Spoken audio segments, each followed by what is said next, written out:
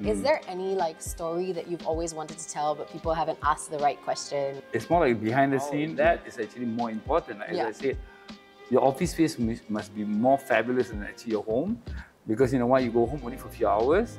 The next whole day you're spending in your office, your yeah. your what do you call your uh, yeah. uh, behind the scene. You know all the craft and everything.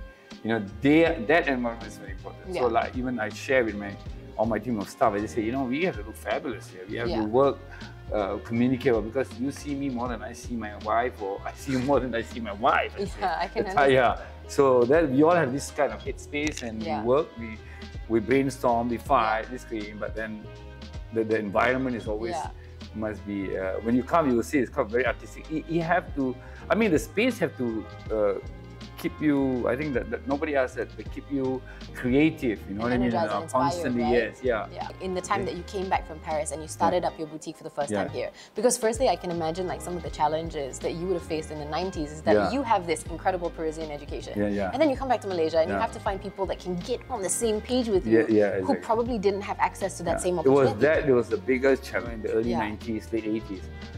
And plus, your friend, even your age, can't, can't support you. Now, at least you tell your friend, I want to be this, I want to be that, you want to be a true uh, rock star or, you know, a, storyteller or whatever. At least your family say, no, no, no, no, you still have to do an engineer or be a lawyer. But you still have a friend who tells you, Yeah. or they can, you can Google and find out another 10,000 Yeah. people in your situation. 'Cause we're more they- connected yeah. now, right? But Yeah. we can't. You don't even have a friend. I don't even have a friend. I can tell my classmate, he'd be like, you know what, I can think that if you became successful in KL, you will be half shop will be uh, people selling newspaper, magazine, and sweets, and Yeah. the other half is like you are tailoring that. Yeah. That's what my friend can imagine for me. Yeah, I can Uh, imagine. yeah, so it's, it's a really a tough thing.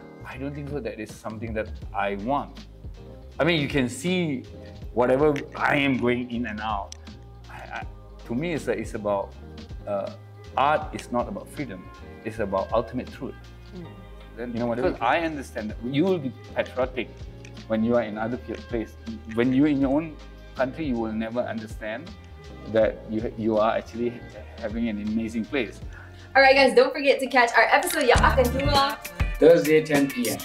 on YouTube, Spotify, and Apple Podcasts. We'll see you there. Bye!